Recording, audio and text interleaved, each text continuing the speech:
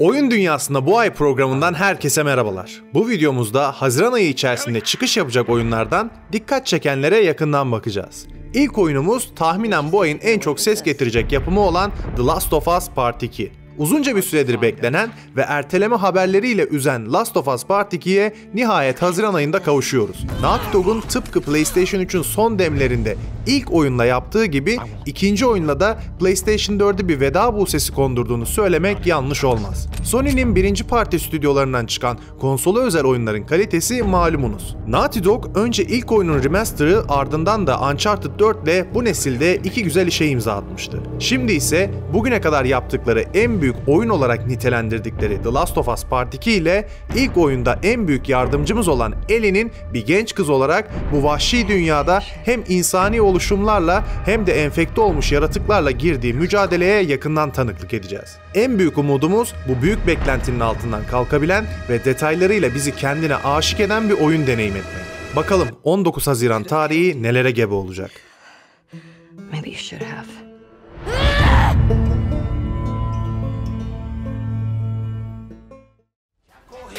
Uzun yıllardır League of Legends'la birlikte gerek MOBA dünyasında ve e-spor arenasında gerekse de Türkiye'de yaptığı yatırımlarla Türk oyun camiası içerisinde önemli bir yere sahip olan Riot Games yeni oyunlarıyla farklı kitlelerden oyuncuları kendine çekmeyi amaçlıyor. Bu oyunlardan biri de yakın döneme kadar kapalı beta aşamasında olan ve 2 Haziran'da çıkışını yapacak olan Valorant.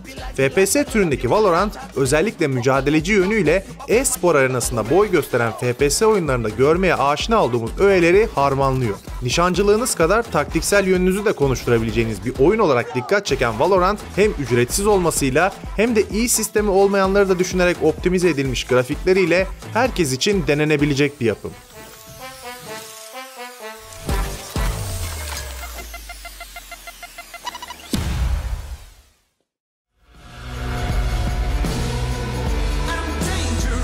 Taktiksel ve gizlilikle ilerleyişe sahip oyunları sevenlerdenseniz bu ayın dikkat çeken yapımlarından biri de Desperados 3.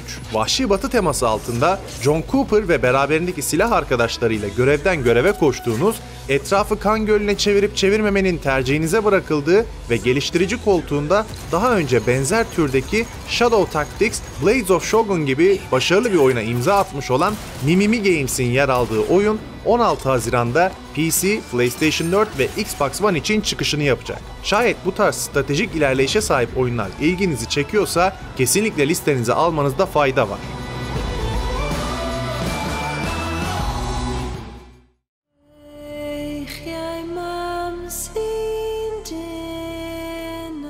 Sıradaki oyunumuz Made of Scare. Kendisi İngiliz mitolojisini temel alan bir korku oyunu. Elizabeth Williams isimli bir kadının gerçek hikayesine dayandırıldığı söylenen oyun 1898 yılında geçiyor. Oyunda yaratıklarla dolu ıssız bir otelde sevdiği kadını kurtarmak için maceraya atılan ve aynı zamanda bir müzisyen olan Thomas Evans'ı kontrol ediyoruz kısıtlı imkanlarla hayat mücadelesi verdiğiniz, soluduğunuz nefes bile duyulmasın diye yeri geldiğinde ağzınızı kapattığınız ve oyunda kullanılan 3 boyutlu ses teknolojisiyle şayet kulaklıkla oynuyorsanız gerilimin kat be kat artacağı söylenen oyunun net bir çıkış tarihi verilmese de bu ay PC, PlayStation 4 ve Xbox One için çıkış yapması bekleniyor. Ancak kesin bir tarih olmaması olası bir ertelemenin habercisi de olabilir. Özellikle pandemi döneminde erteleme haberlerini çok daha sık şekilde duyuyoruz. O nedenle gelişmeleri takipte kalmakta fayda var. Ayrıca oyunun Nintendo Switch sürümünün de Ekim ayında çıkış yapması bekleniyor.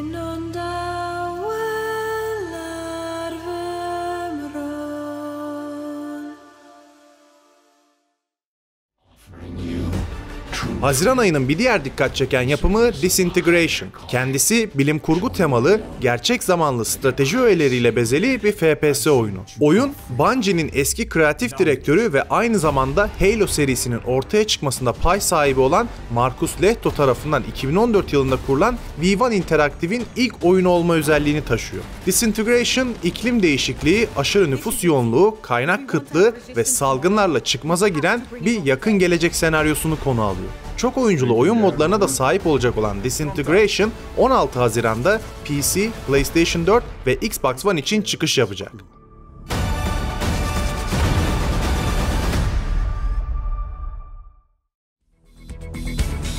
Command and Conquer ve Red Alert sevenleri şöyle bir adım öne alalım. Çünkü bu ayın bir diğer öne çıkan yapımı Command and Conquer Remastered Collection. Strateji türü denildiğinde ilk akla gelen, bugün açıp oynamak istediğinizde bile aynı keyfi yaşatan seriye 2020 model güzel bir dokunuş yapılıyor. Tüm oyun için dokular ve ara sahneler elden geçirilerek 4K çözünürlük desteğiyle ve sonrasında çıkış yapan tüm ekstra içeriklerle Command and Conquer Remastered Collection paketinde toplanıyor. Üstelik nostalji yapmak isteyenler için eski ve yeni hali arasında oyun sırasında geçiş yapabilme özelliğiyle birlikte. Haziran ayının diğer öne çıkan yapımlarına bakacak olursak Burnout Paradise Remastered versiyonuyla 29 Haziran'da Nintendo Switch için Obsidian imzalı RPG oyunu The Other Worlds PC ve konsollardan sonra 5 Haziran'da yine Nintendo Switch için Eskilerden bir oyun olan SpongeBob SquarePants Battle for Bikini Bottom oyunu Rehydrated adı verilen remake sürümüyle 23 Haziran'da PC, PlayStation 4, Xbox One ve Nintendo Switch için ve daha önce PC çıkışını yapan The Elder Scrolls Online'ın içerik genişlemesi Greymoor 9 Haziran'da PlayStation 4 ve Xbox One için oyun severlerle buluşacak. Peki sizin merakla beklediğiniz oyunlar hangileri? Yorumlarda bizimle paylaşabilirsiniz. Bu videomuzda Haziran ayında çıkış yapacak oyunlardan dikkat çekenlere yakından baktık. Bir başka videoda görüşmek üzere, herkese iyi oyunlar.